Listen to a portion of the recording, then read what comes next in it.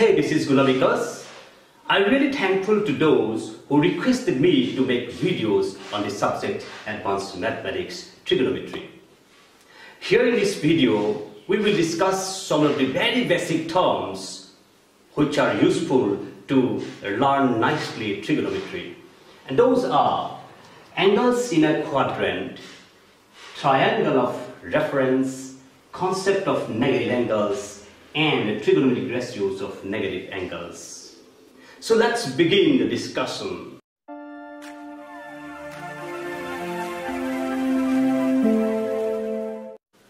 Yes, I have changed my channel from Mathematically Mathematics Mathematics to MMM Classroom with Sir GB. Now you can search me on YouTube by typing MMM Classroom with Sir GB. Before discussing this angle in a quadrant, let us first of all know how can we get an angle in trigonometry. Let us consider a ray here OA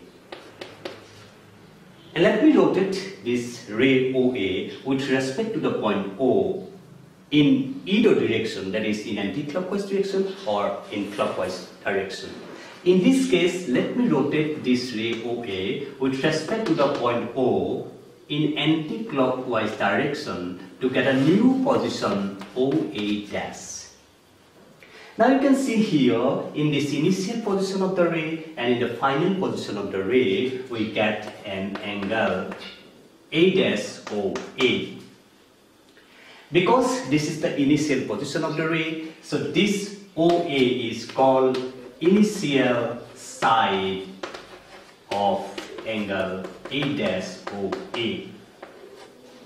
And because this is the final side of the ray, so this OA dash is called terminal side of angle A dash OA. So this is the way we get an angle in trigonometry. Now let us discuss angle in a quadrant. So we know we get this quadrant in coordinate geometry and especially in uh, coordinate plane. So let me draw a coordinate plane where we have x dash or x as x-axis and y or y dash as y-axis. Let me regard OX as initial side and OA as a terminal side to form an angle that is angle AOX. Look at here, this is the suppose this is the angle, angle AOX. Here the initial side is OX and the terminal side is OA. And this terminal side lies in the first quadrant and that is why the angle AOX is called, it is an angle in the first quadrant. Let me draw another initial uh, terminal side OB where the initial side again is OX. Then we are getting another angle BOX. BOX. Because the final uh, or terminal side of the angle BOX, that is BO, lies in the second quadrant so the angle BOX is called, it lies in the second quadrant, that is angle BOX is in the second quadrant. Uh, again suppose we have another ray OC where OX is again the initial side and I am assuming I am regarding OC as the terminal side. Then again we are getting an angle, angle COX this is the angle COX, means this one. Okay? Because the terminal side of angle COX lies in the third quadrant, so angle COX will be called as an angle of third quadrant. Similarly, if I draw another ray, suppose OD, to form this angle, angle DOX, where OX is the initial side and OD is the terminal side. Because the terminal side of this angle DOX lies in the fourth quadrant, so angle DOX is called that it is an angle in the fourth quadrant. So this is the way we can get an angle in a particular quadrant where you have to remember the initial side should always be OX okay and the terminal side in whichever quadrant the terminal side lies that angle is called is in that particular quadrant. Now let us discuss the triangle of reference. Look at the figure here. We have an angle A1OX that is theta 1 and there's a point P1 on the ray OA1 and P1 M1 is perpendicular to OX. This is the first quadrant. So if we have to find the trigonometric ratios with respect to the acute angle theta 1, it is acute because it lies in the first quadrant. Then we have to consider the triangle P1, O, M1. So this triangle P1, O, M1 in this particular case is called the triangle of reference. Suppose you are to find the trigonometric ratios of obtuse angle. We know obtuse angle which are greater than 90, less than 180. So the terminal side will lie definitely in the second quadrant. Let this is the angle which is say theta 2 and the ray is O2. This is the terminal side. Again you have to consider a point like P1. Let that be P2. What you have to remember, you have to remember that the, the, the point must lie on the terminal side of the angle. Here OA2 and the angle is theta 2. And you have to draw a perpendicular from the point P2 always, always on x axis only. Let the perpendicular be P2 M2. Now if you are to find sine theta 2, cos theta 2, tan theta 2, which is an obtuse angle, you have to consider the triangle OP2M2. So in this case, triangle OP2M2 is called the triangle of reference. If you are to find the trigonometric ratios of greater than 180 but less than 270, okay, then your triangle of reference will lie on this third quadrant. Similarly, you can draw the triangle of reference. And if you are to find the trigonometric ratios more than 270 degree, less than 360 degree, your triangle of reference will lie definitely in the fourth quadrant. Okay? So how can we draw the triangle of reference? Remember, the point like P1 and P2 these points should always be on the terminal side of the ray. Okay? And you have to draw the perpendicular from that particular point to the x-axis only. Do you understand? So this is the way we get the triangle of reference. Okay? If you cannot get the triangle of reference, you cannot get the trigonometric ratios of that particular angle. Let us discuss now the trigonometric ratios of negative angles. But before that, we have to know what is a negative angle. Because we don't have the concept of negative angle in geometry. So what is a negative angle? When an angle is formed by rotating our ray with respect to a fixed point in anti-clockwise direction that angle is regarded as a positive angle. When an angle is formed by rotating a ray with respect to a fixed point in clockwise direction, then the angle is regarded as negative angle. Look at the figure here.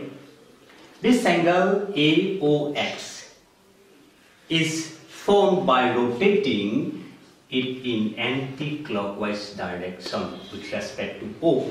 So this angle theta that is AOX will be regarded as a positive angle. In the other case, in this case, this angle XOA dash is formed by rotating this ray in clockwise direction. So this angle XOA dash will be regarded as a negative angle. Okay? Now let us find the trigonometric ratios of negative angles. So to find the trigonometric ratios of negative angles, we are considering here two angles AOX and A dash O X Both are of equal magnitude. Okay, so angle uh, AOX equals angle A dash OX equal in magnitude, let it be theta. We are considering two points P and P dash on the ray OA and OA dash respectively in such a way that OP equals OP dash. Let me join these two points so that it cuts the x-axis at the point M. Now you can look at we are getting two triangles here, no? One is POM, other is P dash OM. And these two triangles are congruent to each other. How? It is very easy to find. As per our assumption, OP equals OP dash. These two are equal. And this angle equals this angle, both are theta. Also this side OM equals OM, that is the common side. So I know you can very easily prove that these two triangles are congruent to each other by side angle side criteria. Okay, so I'm not proving it, you can prove it yourself. So therefore we can write triangle POM is congruent to triangle P dash OM by the criteria SAS. So therefore by CPCT that is corresponding sides of con congruent triangles are always equal. So we have PM equals P dash N. Also angle PMO PMO equals angle P dash MO. That means this angle PMO equals P dash MO. These two angles are equal. But as P and P dash is a straight angle that is 180 degree. So each will get, because both are equal, so each will get 90 degree.